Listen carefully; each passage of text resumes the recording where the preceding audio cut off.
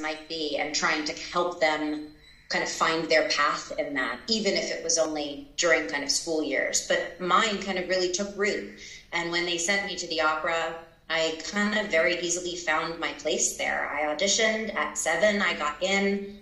I trained for a few months, and I mean, I was on stage within a matter of weeks in non-singing roles, and then months later, I I had you know learned all these songs and parts uh, in other languages that I had no idea what I was singing about, but I just learned them phonetically, and I got to put on great costumes and go out on stage every night, and it was really magical, and that's how it started.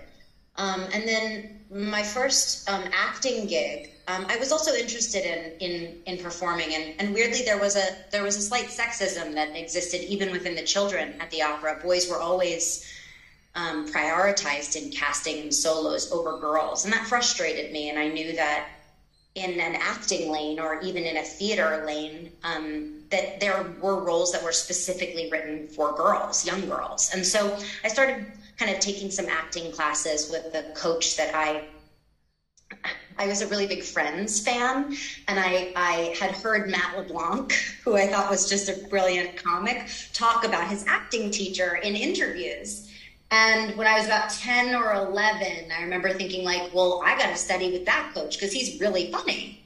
Um, and so I found this coach, and she became one of my closest friends and mentors. And there was a movie that was casting and they happened to ask this coach do you have any young girls that can sing and she had given my name and they had gone to the opera and they said do you have any young girls who can act and they said they had given my name and so the casting director for this movie had gotten my name and called me in for an audition i got the part and I, the movie went to Sundance and then I had some big agents. So it it kind of happened naturally, but also because I never really felt like I fit in in the normal world. I, I always existed better if there was like costumes and huge elephants shitting on stage, I guess. I don't know. So let me ask you because it said in your bio that when you auditioned for your role in Phantom of the Opera, you came in full costume and makeup. And the conventional wisdom says that you should not show up in full costume um, you know, for your audition, only touches of it. But it did work for you. So, what is your opinion about that? Well, firstly, that's not totally accurate. I, I did not show up. They put, in fact, for the screen test for Phantom, there were like six or seven girls. And I was only brought into the kind of audition pool about two days before the screen test. So they were at the very end of the process. And I had heard about it and gotten the audition super, super late. And so I was kind of like tacked on. I was the last audition of the of the day, and I kind of figured that I was in last place. Um, and so when I showed up, I had been told that it was a screen test, and they would be putting us in costume and hair and makeup, and it was this big production. I have certainly never showed up in full costume or hair and makeup, but I do think that that could work um, I've never done it. I've always tried to, like you suggested, go for like little touches of something.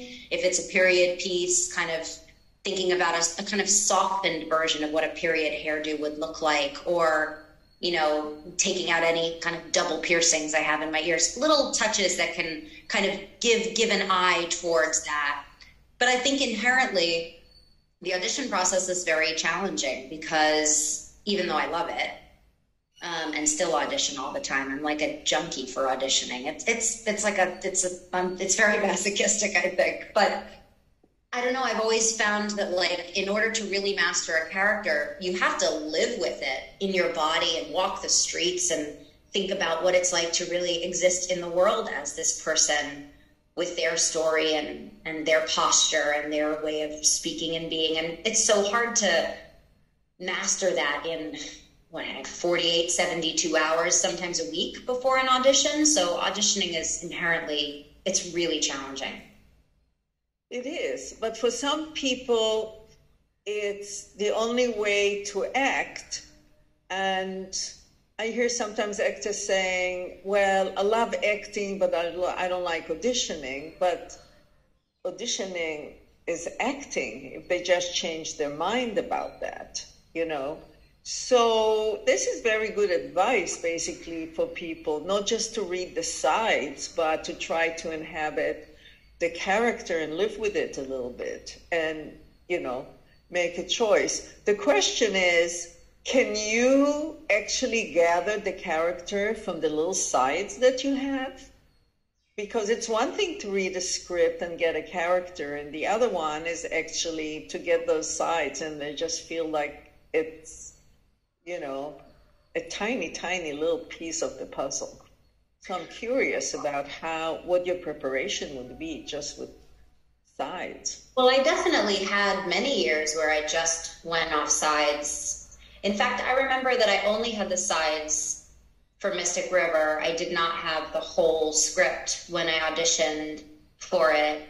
And in fact, they had asked me to audition for the role that actually went to Ari Graynor, the role that was the friend of, I think the character's name was Katie Markum, the girl that died that I ended up playing.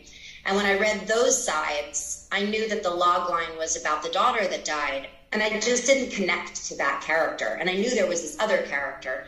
So I asked my agent, Do you have the sides to the other character? Do you think they'd see me for that? And she said, They really don't think you're right for it, but if you really want to, I mean, they'll put you on tape for it. And I think that you always have to find your way in, your connection to it.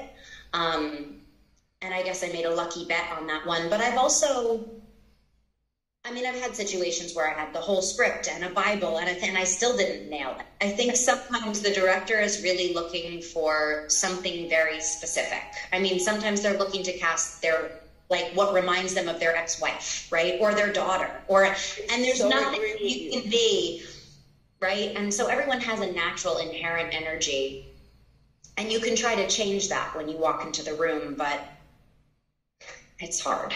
It's hard. But but I think yeah. No, no, I think that my my my my thought about auditioning and why it doesn't make me feel defeated even when I don't get the part because you more often do not get the part than you do get the part. That's just it's you just got to play the odds, right? Is that I feel that as long as I hook into something, find a, a character that even if I don't get to play that character, that character's in my back pocket. I can use it again for something else. Even if the lines aren't the same and the situation isn't the same, it's the same kind of energy. And sometimes when I play characters, now I'll think, okay, so it's a little bit of the physicality of this one, but it's a little bit of the, the mentality of this one. And maybe she gets angry like this, but maybe she gets hurt like that. And maybe, maybe this is new. I haven't done this mode before. So I feel like it's kind of like a suitcase of experiences when you're doing that performance in that audition, even if it's a self tape or whatever, that I've always found beneficial somehow. Um, I remember I auditioned for a film that just came out this year, and I worked so hard on the audition. This audition was years ago. And the actress that ended up getting the role um, did a beautiful job and played it totally different than I had envisioned it but I still remember the fragility and the the brokenness that I found in that, and I haven't gotten to use that again yet, but I know that I will. And so I remember what that felt like, and I can recall that and bring that up if I need that again. I think this is brilliant, really. And I, who was sitting many times across the desk, you know, totally agree with you because the casting can be very subjective. Mm-hmm. It's nothing to do with it ultimately. But if you commit to a part, we can see that you committed to it, even if it's the wrong interpretation. Right. And people make a mental note. You know what I mean? The mm-hmm. director, the casting director, they make a mental note and say, okay, maybe not for this one, but this person really commits to something. Right. And and and um, we want to bring it back for other stuff. Yeah, and I think wishy washy. If you're wishy washy and you're trying to really guess what everybody really meant or wanted or something, totally. it comes out that way. You know? I've auditioned for Darren Aronofsky and not gotten the part three or four times, and he keeps calling me back. So I feel like I don't totally suck, right? Like he must be like someday it'll work. Um, and I auditioned like once or twice for Scorsese and and did well got it once but couldn't do it and then didn't get it the other time. So I feel I feel okay about about those things. And honestly, sometimes just like being in the room with those people, it's it's pretty it's pretty exciting just to be like, okay, I got here, even if I don't get on set, like I got here. So that's cool. Right. And are you okay with the fact that um, you have to audition for them? Audition doesn't mean that you read or you just come for a meeting with the big directors. Like in both of those situations, it was reading. Um, usually, if it's a I think if it's a prominent director, uh, different people have. Some people don't want to see you read at all. Some people like yes. don't even care about the read, and they don't really believe in acting, and they just want to meet you because they think you're just going to play yourself. Um, some people only want to see tape. Clint Clint Eastwood never meets actors in person. He only wants to see the audition tape. He just doesn't doesn't do in person auditions. Um, and then there Is are that Clint Eastwood? Did you say? Mm-hmm. Really? Um, I think he doesn't maybe want to be swayed by how he feels about the person in person. He just wants to watch the performance, like as a as an audience member. And then there are occasions where I no longer have to read if um, it's similar to something I've done before, or it's a relationship that I have with somebody that knows what I what I can do, what I'm capable of. Um, but it just every situation is different.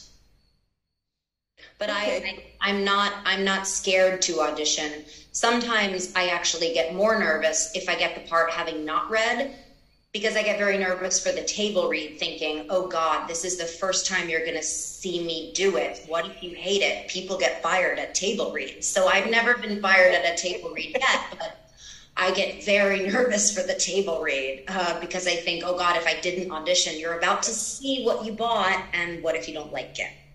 Yeah, interesting. Okay, let's talk a little bit about Angelyne, okay. which, of course, you produced and starred in brilliantly, I might add, because it was most compelling and it was entertaining at the same time. I have to say that I lived here when all those billboards went up. And after a while, you were like, who is she? And what's with those billboards? Because there was no there was no name of movie, there was no name, you know, it was just a puzzle. And so, how and why were you drawn to it?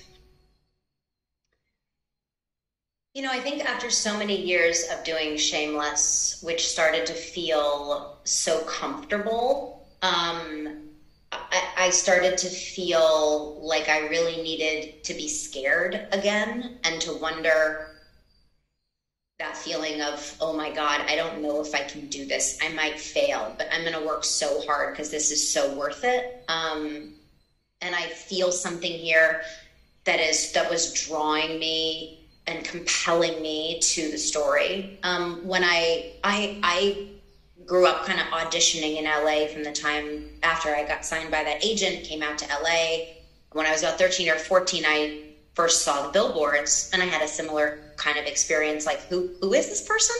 Um, and she was always just kind of like LA's unicorn and this person that seemed just like famous for being famous. And I wasn't sure kind of who she was or rep- rep- what she represented. And there was a lot of mystery behind who she really was and what her real name might be, what her real age might be. But there was always this sense of kind of like joy, mystery, fantasy around how people held her in their hearts, mostly. I mean, some people thought she was a joke, and I thought that that was also really interesting um, how judgmental people could be of this woman who had really made herself.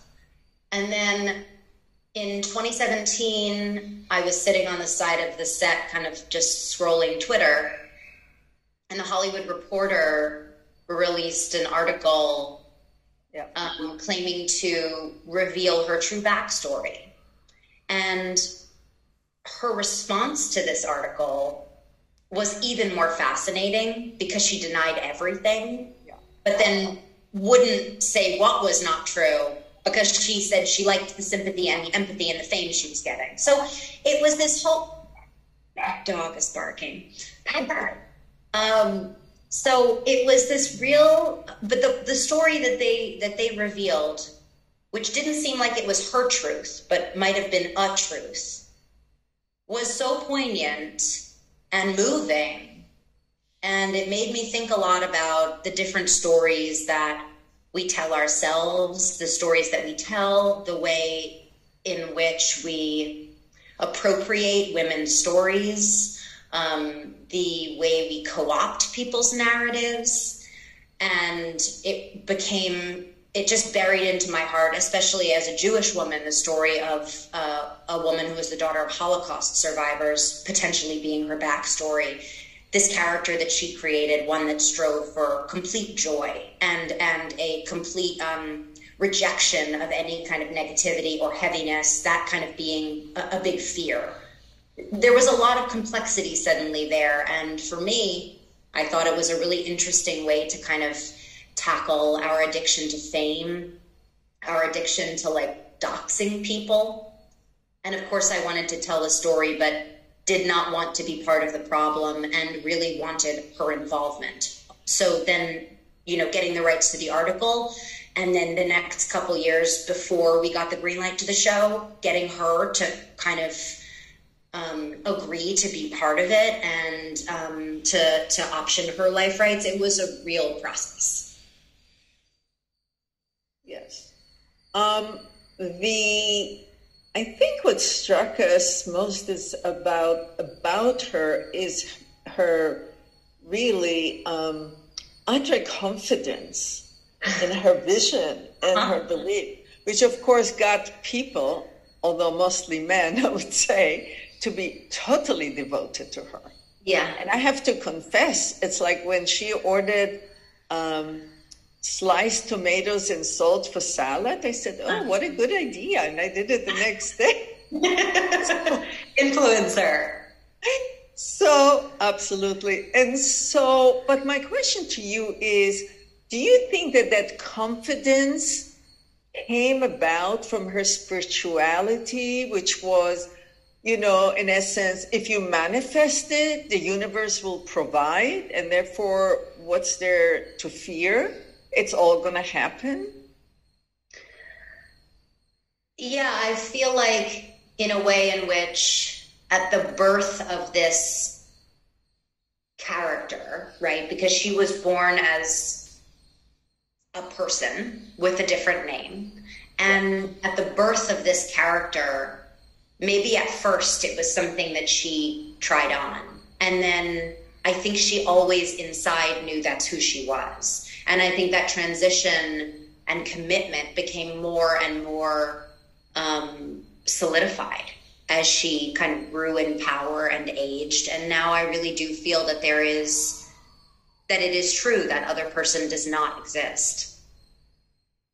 Um, I, I, I we spoke about spirituality, about Alan Watts, about kind of 60s LA hippie philosophy, about the um, spiritualism center that's in the Palisades, which is a place uh, where all the religions exist around this weird, like Hollywood set um, uh, lake. It's called, um, it's called Lake Shrine. Um, and there's yeah, yeah, yeah. there's Judaism, Christianity, Catholicism, Buddhism, Hinduism, and they all kind of have a seat around the lake, and that's a place that she really loves and feels connected to. And so I think there is a little bit of this kind of manifesting, um, and like a little bit of um, just a little bit of magic and witchiness. Like I think there is just a little bit of kind of spell casting, and, and she's pretty. Um, she's pretty hypnotizing when you're with her. Um, it, it, I mean, it clearly worked on me because I, you know, devoted years of my life to telling this story, um, which will never be her story. Only she can tell that. It's it's my version of what touched me about her, and that's kind of what I think is so interesting about what an icon is. They kind yeah, of it's a yeah. At a certain point, I was like thinking about inventing Anna, and also she had a vision and and um, you know confidence. Except she was really a con woman, and you know Angelyne was actually a sweet person. mm-hmm. you know, who really kind of wanted to do good in the world and believed in, you know, that magical place that maybe we can all reach. So there was thing. Okay, I'm going to ask a last question and then I'll just go to the student. I just wanted to say that your performance of Angelyne was mesmerizing. And it was not only because uh, the physical transformation, but because you kind of let us in to the essence of her as much as she allows it. You know what I mean? Mm-hmm. And you really start feeling for her. And um, I just wanted to, what did you think was the most important thing to convey about her in the series, in portraying her? Um,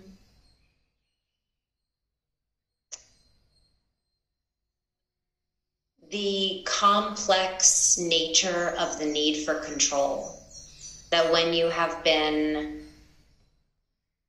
um, really through the ringer as a child, experienced loss and fear and terror in the way that um, our version of her did. Um, that that need to control your destiny, your future, your life is about survival. Um, that that need to to be loved, to be validated, to be adored, and to be perceived as perfect, to not have any imperfections, that complete rejection of any negativity as part of your sphere, that there could be any blemishes that could be lovable is not something that is possible. And so there was that complete commitment to like Barbie and control um, that I found very kind of complex and really poignant. Um, in the way in which she kind of surrounds herself and and and really with people that she trusts and seemingly like can lord over everyone in this kind of like two-dimensional way in which she can receive the love that she so desperately wants and and needs to like to be alive. The adoration. Yeah i think that was i mean it's it's incredibly complex and and to be able to play somebody who goes through that that kind of physical transformation as well continually changing themselves surgically and the way that that manifests in the body. Um, and the the voice also i thought was the most interesting part um, the kind of modalities in which her voice exists and how she goes from kind of business voice to baby doll voice depending upon what she needs and wants in that moment um, and sometimes kind of hardly ever drops it. Um, so it, it was it was really really interesting to see that and also to to speak with her and also lots of people that have known her. Yeah, it was very compelling, and the more you got into it, the more complex and interesting because every episode was different and added to the puzzle. Okay, let's open up for the students because it's really for them. So, uh, Mike, do we have anybody? Tova, yes, we have a question from Elise Lanternier. Elise, we've enabled you to unmute yourself. What is your question for Emmy? Hi, Emmy. I'm Elise. Hi. um, I was going to ask you what is your favorite way of like decompressing with all the stresses that come with um, being an actor, and also what are like the best mindsets that you've learned along the way? Um, crying is a good one. I'm not even kidding. I'm not even kidding. I think that crying or screaming into a pillow. Um, I could say meditating, but honestly, sometimes at the end of the day, or sometimes I, when I'm on my way home, I'll just listen to like really trash top 40 music and like just really sing, you know, like whatever old pop song um, I think anything that gets you, or a shower, anything that gets you back into your body, your body, not the body that you just, you know, existed in all day. Um, but I think it's hard. Um, anything that helps you kind of, and sometimes I just watch like comforting TV, um, something that'll take you out of it. Um, sometimes I'm too tired and I just want to play like the Wordle on my phone or do the crossword puzzle on my phone. And sometimes I literally just can't speak to anyone. At the end of the day, I just have to come home and like just hold my dog. Like, and some days I feel totally fine and like I'm able to like leave work and like go to a birthday dinner. Like, it just totally depends on um, the day. And what was sorry? What was your other question? Oh yeah, no worries. Um, what is what are some of the best mindsets that you've learned to pick up along the way? Mindsets? You mean like guiding principles, or? Uh, yeah, just really anything that you feel like is best to live by as an actor, as a woman in the business, anything like that. Um, my coach will say, uh, "Don't work so hard." um, uh, my mom likes to say, stay focused and have fun, which I think is really key because I think, you know, you want to prep, but then when you're there, you want to have fun in whatever, in whatever way that means, like kind of being present and being there. Um, and then I think it's really important to, to find the women on the set that are your um, partners, that that are your allies, and um, and let them watch out for you and watch out for them too. Thank you so much. Thank you. uh, we have another question here. This one's from Ashley Vinay Salas. Um, Ashley, we've enabled you to unmute yourself. What is your question for Emmy? Hi, I just want to say that I'm so happy to be here. I'm such a, a huge fan of you and your work, and I want to know what was the hardest part of being in the project like the Phantom of the Opera. And the second question is, do you think there's a limitation or an obstacle of being in the performing arts for a person with a disability? I'll start with your second question. I think more than ever, the world is opening up, um, and the roles that might have been appropriated by um, women like me will go to women that deserve those roles and know those lives better than than me. Um, I still think that those stories are underfunded and undertold but um, I do think there's progress being made in that direction, and I think that this that the scales are being righted now, um, and the right people are being cast. And I think that casting directors are galvanized to go find the right person that is right for that role. Um, um and the hardest part of Phantom was probably the pressure of knowing how many people had seen that and how many people had a preconceived notion of what that character should be and also feeling so young and so like I did not know what I was doing and I was 17 and terrified every single day like just really just quaking in my boots. Like so terrified terrified to sing terrified to breathe terrified to act. Just just really scared the whole time. I was definitely focused but i was not having fun. If i got the chance to do it again or make another musical i would have so much more fun now knowing what an, an incredible opportunity that was. I, I think i didn't have enough fun. Thank you so much I... We have another question here. Uh, this one is uh, comes in from Jimena Guzman. Uh, Jimena, we've enabled you to unmute yourself. What is your question for Emmy? Well, thank you so much for having me here. Um, I was wondering, out of all the characters you have played in film or theater, which character did you connect to the most?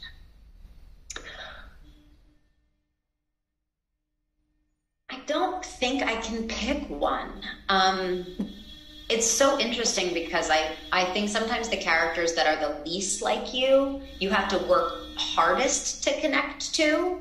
And so those are the ones where you learn the most about yourself. Um, I think probably with Fiona, where I played on Shameless for so many years, the the connection to her became so familiar almost like I had had a roommate for nine years, truly like a roommate in my body six months a year that I that I really feel a, a, deep connection to that and actually have found her like showing up in me sometimes. And I'm like, no, no, no, no, that's not you. Um, you don't need to get into that fight. So, so it's really funny how there's that kind of osmosis that happens. And then I just played a character on a show um, for Apple that comes out next year. And that was an incredibly challenging character that was very different from me and really with a lot of like deep seated trauma. And I, I found it really hard to be in that character's body. But I also found that I learned so much about finding empathy for people that are different from you that I, I thought it was really interesting. Thank you. We have a question here from Daria Svenger from our South Beach campus. Daria, we've enabled you to unmute yourself. What is your question for Emmy?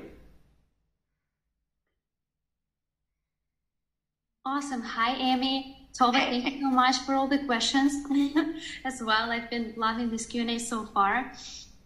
Um, my question is, uh, you mentioned that it's normal to feel scared and terrified when you're just starting out and you felt and shared the, these emotions. So I'm definitely resonating with that. And the question is uh, how did you find out which characters you were meant to play when you transitioned from theater to film? I think it's just the parts you get are the ones you're meant to play. Um, although I have felt like, gosh, I was really meant to play that, and I wish I'd gotten that chance and I didn't. Um,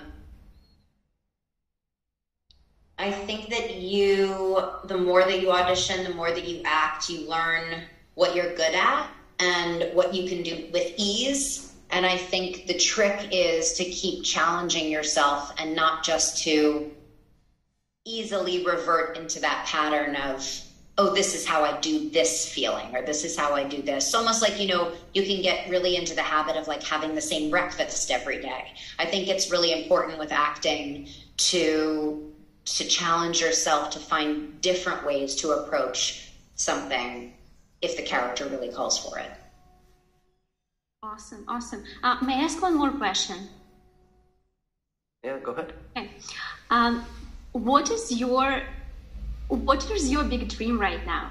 I mean, you are so accomplished. You have all these amazing projects. Do you see the next step for yourself? And if yes, would you be open to sharing?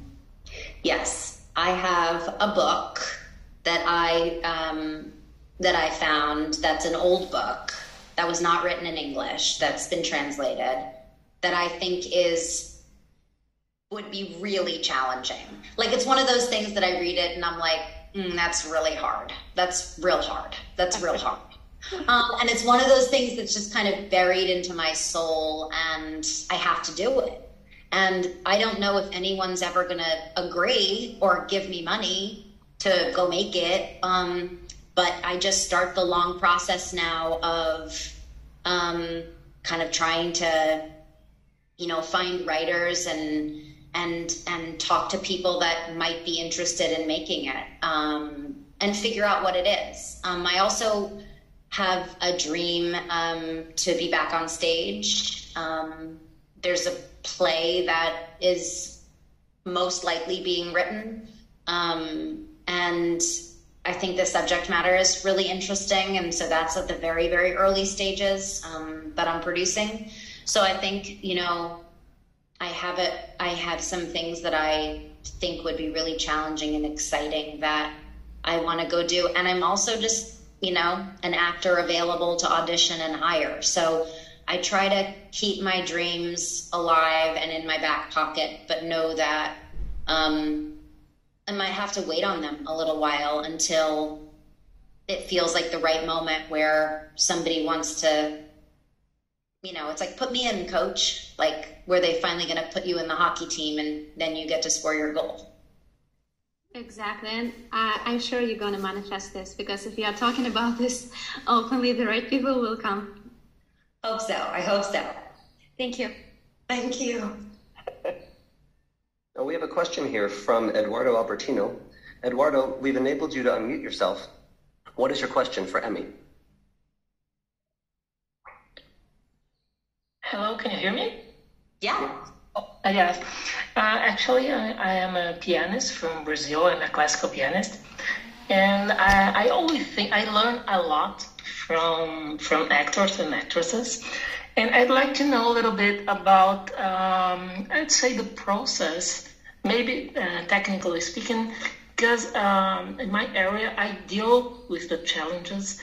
Uh, for example, memorization, uh, how to memorize things long term, uh, the difficulties of the stage. Every day is a different day. Some days we are not feeling well, we are not so confident, uh, we cannot focus a lot. And uh, with your experience, I'd like to know if you can tell a little bit about this. Uh, how to how how is your process to work on a new new play or a new series, a new role? Um, by the way, um, I don't know if I express myself properly, but I'd like, if possible, if you tell tell us a little bit about this. Uh, the biggest challenge for you about this, the process, memorizing things long term, how to keep this, because uh, uh, in my case, for example, I deal with some uh, motor memory or muscle memory, and long term we can't lose that. It becomes automatic. It, be, it becomes mechanic, and it's a danger for us to lose our cons- conscience on stage. You know, uh, do you go through this kind of challenge in your in your in your work in your activity? Could you tell us about this, please, a little bit? I think I'm simultaneously confident and like not confident at all. Um, I'm confident that I've put a lot of thought into it, but I'm not always confident that it's going to work um, or that other people are going to like it. Um, but I think ultimately you know you're working this is you're not working in a vacuum right? Like i'm not a solo pianist. I am one instrument in the orchestra right? I'm one character or i'm just the director or just the producer. So this is really a team effort and it is really up to your peers and your director to reflect back at you if it's working or not. It's my job to do all the preparation. Memorizing for me is just a muscle. Like you go to the gym and the more that you do it the more easy it becomes. And i think different people learn differently how to memorize. For me i it doesn't matter what it looks like on the page. Like that doesn't help me i'm all by how it sounds so i record this the scene and i listen to it over and over and over. Um, and then i just do the other person's dialogue and i play stop and start on the voice memo recorder. It's very rudimentary. I don't use a program. I have like just voice memos of the scene and the other person's dialogue, and then I, you know, cover the my dialogue and play their dialogue and you know go back and forth and make sure I got it right.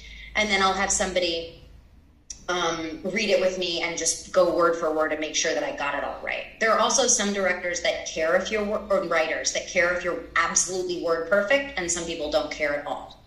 Um, but I like to try to be word perfect. Um, in term, that's the easy part though, um, because that's just like kind of basics. Like you have to do that part. I think for me, it all starts with kind of an exploration. If I have enough time, or if I have the role, or if I have a couple weeks with the audition, then I kind of try to do a psychological autopsy. I'm very intellectual about it at first. I break down where the person is from, what I think their upbringing was like. I try to find the secrets that are in the scene of what they're not saying or what they are saying. And then I try to let those things inform the rest of the story about the person that's not on the page. From there, I try to think, okay, what are the what are the ways in which this person is going about the world? how are they reacting in this situation and how would i find those feelings in myself um, if i haven't had those experiences or haven't felt those things i will try to generate those feelings or experiences in myself in a safe way um, right? I'm not going to go out and kill someone or do a whole bunch of drugs. Like there are other ways to experience things um, that are that are safer. Um, so that's kind of what I tried to do. And then after kind of intellectually thinking about it too much, I start kind of feeling my way through the text and and kind of find my way through the scene. It's a really long process. Um, I'm not somebody who's a good cold read. My cold read is not good.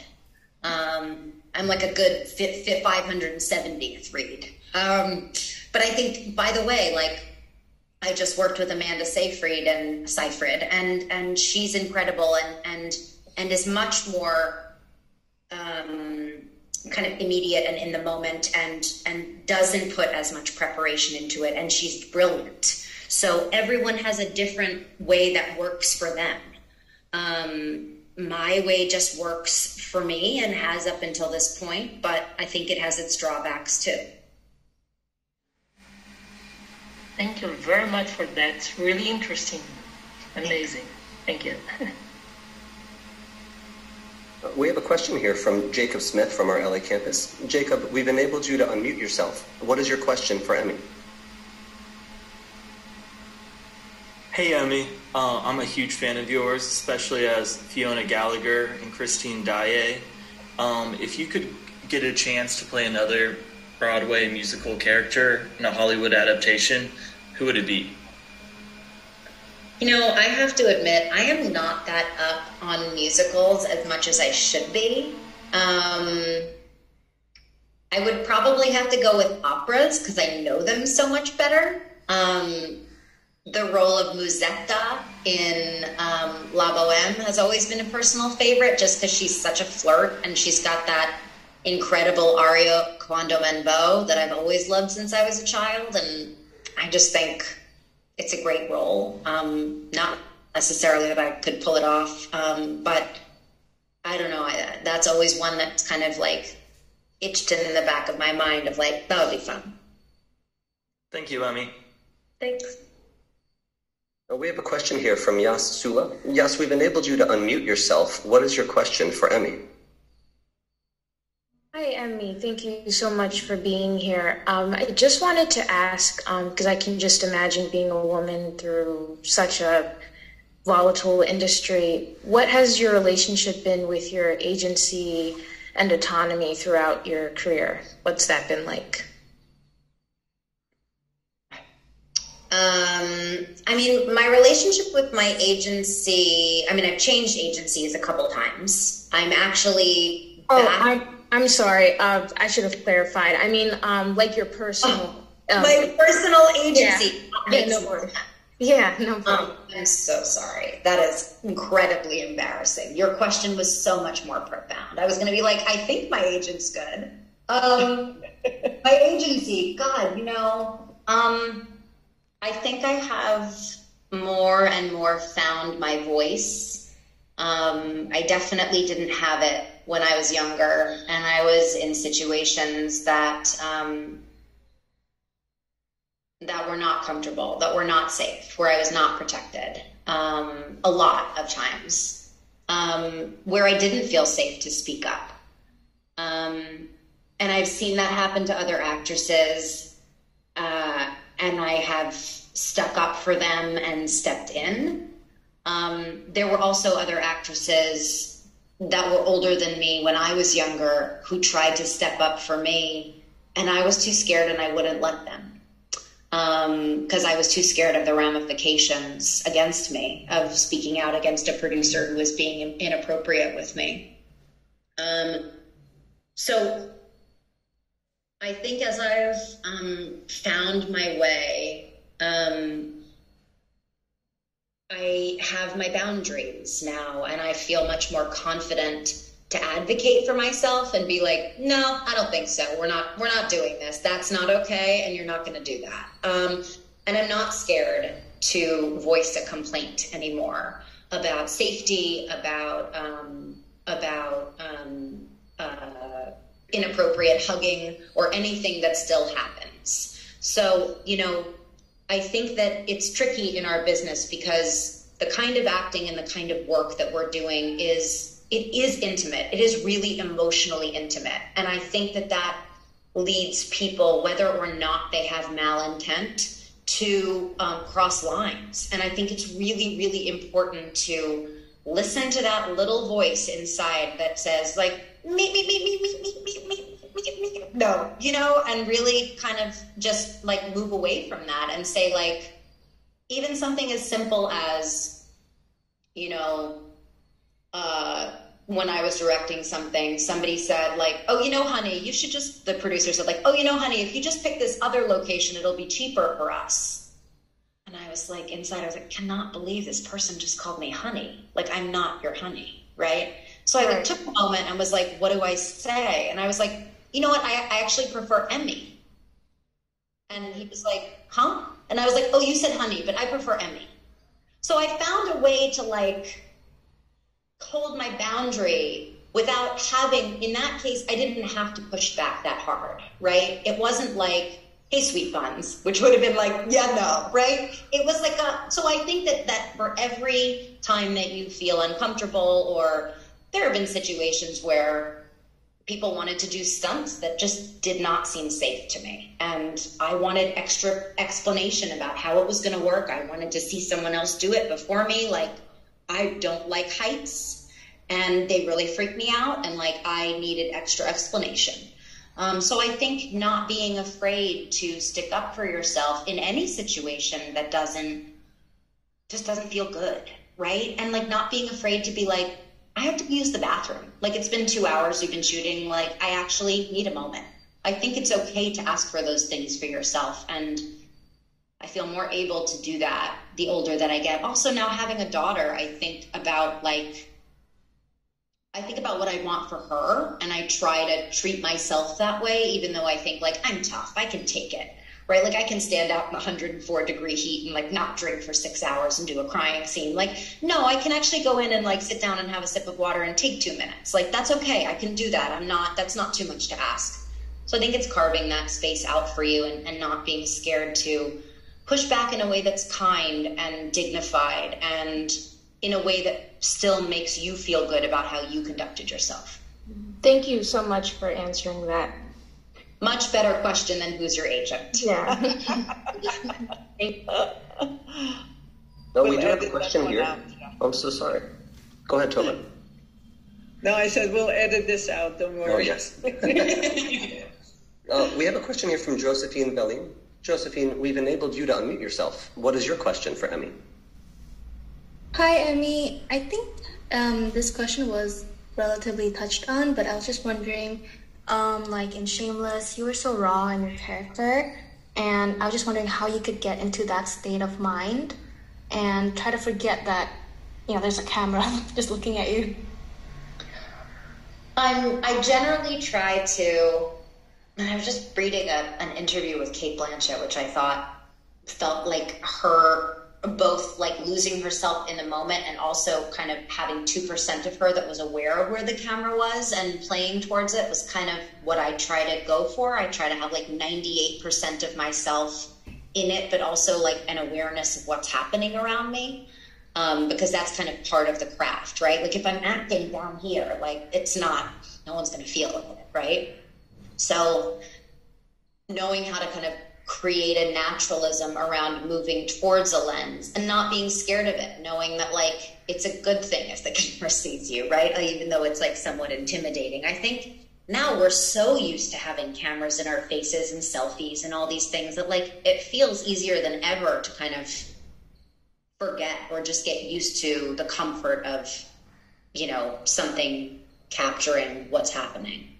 Um, and I think that for me, um, you know, getting yourself to a, a, level of rawness and intensity really re- requires um, a lack of um, self consciousness around how other people in the crew or the audience might view you. I have had snot fly out of my nose. I have hiccuped in moments when I, I, I just kind of of course i'm very aware that those things are happening right when they're happening but i just keep moving through it because i feel like if they don't like it they won't use that one right or i'm not going to ruin it in case they do like it. Um, i think that it's also like not feeling scared to I, when i was on mystic river i saw sean penn talk out loud to himself to get himself to an emotional state before the camera rolled. And beforehand, before seeing that as a young actor, I'd been very self conscious about my emotional preparation and wanting those very personal stories that sometimes I use um, to be private, not to be shared, not to have anyone know my traumas and my sorrows. Like if I would talk to myself about how my dad wasn't around or how he I thought he didn't love me or sometimes I would think about the Holocaust and all the kids and their faces and I would say their names. I would just say it quietly in my head. And it would get me to a place. But when I saw him do it out loud, I was like, maybe there's something to that. And I noticed that I wasn't viewing it as weird. I was thinking, wow, like, how brave. He doesn't care that he's having this experience in order to take himself to a place that that's what he needs to do for the scene. Like, he knows what he's doing. So I started doing that. And at first I was very self conscious, right? Because you're mic'd. So the director, the sound guy, like the person that's like the crafty can now hear like my childhood abandonment stories that I'm like whispering to myself, or even funny things like sometimes, you know, if I have to laugh about something, I'll be like, you know, recounting a story. And for me, the release of getting it out makes it more powerful for me than holding it all in. When I was holding it all in, it was it became quite tight and I couldn't release it as much. So for me, when I found that I had this liberation to talk out loud, I, I don't make it anyone else's problem. It's quite quiet to myself, but because I want to respect other people's spaces and processes, right? I'm not like, by thought, like, I'm not doing one of those, right? But like, I do think that there was something about liberating myself from feeling that other people would judge my process if they knew what my preparation was. Um, and so that for me offered a real opportunity to find my way to much more intense places um, without feeling like I was going to be judged.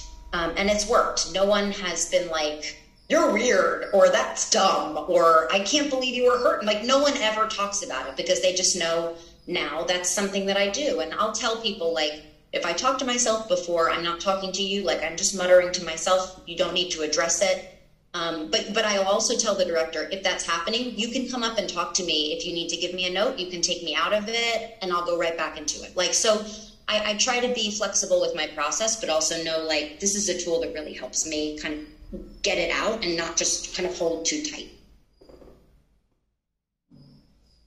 That's amazing. Thank you so much. And um, I mean, I have one question that has come in a number of times from our acting students and aspiring actors that um, I'd love to pose before I turn this back over to Tova. Um, and it's uh, a very basic question, which is just if you could only give one piece of advice to an actor who's just starting out, what would that be? Don't be scared. Great. Easy. Um, Tova, I know that, that um, you'd like to um, tie this up with. By the way, which never helped anyone. Though, don't be anxious, don't be scared. Never helped anyone. So, but I feel like my note behind that is like when you walk into casting, like they want to find the person, right? Like it's their job to find the person. If they don't find the person, they're screwed. It's their job on the line, right? Like, so they want every person to walk in to be the person. They don't want to have to keep looking. They want to go to lunch and go home to their families. So I think that like when you realize that like you walk into a room and like people actually really want you to win, it creates this like openness and this opportunity of like you're not walking into this room where like people don't automatically think you suck. They don't want you to fail. They don't want you to suck. They don't you know so i feel like there's a lot of fear coming into it and i feel like if you have that preparation and that kind of foundation underneath you of like you know the words and you kind of have an idea of what you want to do i think you know you don't have to lead with fear even though it's always there. Yeah. You know alec baldwin was here and he said that at the beginning of his career, he would go to audition and he would like say, Thank you, thank you, thank you. And then it dawned on him that you're not really, they're not really doing you a favor. It's a business transaction. They want you there. Mm-hmm. You're legitimately there. Right. Right. Totally. You know, and therefore, you know, you look at it at that kind of a business exchange and it's like even. And so, with that kind of going in, you have a different kind of agency about yourself and a feeling about yourself you know. Yeah. So, um, I think the rejection can also be so hard at the outset, but I've always told myself that, and this is something that I like a mantra I've always held, is that every no is one no closer to the yes. Like it's just you're playing the odds. So at some point, someone's going to say yes. Like someone's going to be like, you're hired. Someone's going to give you a job. Someone's going to say yes. And like there is a there is like a momentum that builds right when you get one yes suddenly like maybe it's like the sixth not the tenth job then maybe it's the fourth not the not the sixth and so it starts to build and i also think that when you get that yes that confidence that comes with that kind of comes with you into the room the next time yeah it's like carnegie a famous thing he says i know that a sale happens every 25 times so every time I lose a sale, I'm very happy because I know I'm getting closer. Oh, yeah, I'm getting closer. Yeah, yeah, yeah, totally. Yeah. So, what I want to say, Amy, is um, one of the students just before said the correct word for this session, and she said fascinating. Oh. I really think that you gave us a very, very fascinating Q and A I think that um, everybody learned something from it. I believe everybody that participated learned something from it. You were genuine.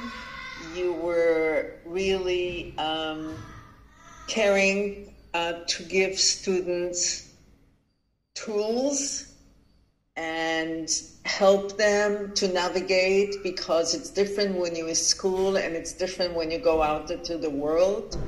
And I think that you took care to, you know, um, give them the help that and the advice that they were looking for.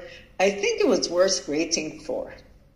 I hope so. Between the broken foot and then the and then the I had to go to work, but I really appreciate it. Thank you for waiting for me. Thank you. And thank you so so much for showing up for us and really giving us um, a glimpse into a working actress where people saw that you know you're not just afraid when you're starting out you're more afraid when you're starting out. But basically, you know, all those experiences are challenges. And then you learn from them, and then you get stronger, and then you have an arsenal of things to, uh, you know, to lean on later on. And I just think that it started fascinating and it ended up fascinating. And I thank you so, so much. And we will continue to um, cheer you on as you do um, more and more project that you know you act in, you direct in, you sing, and maybe dance even. So there you go. I've always wanted to play a ventriloquist, so you never know. With Amy, you don't know. The talent is enormous. Thank you so Thank much. much. Bye bye. Thank you. Bye.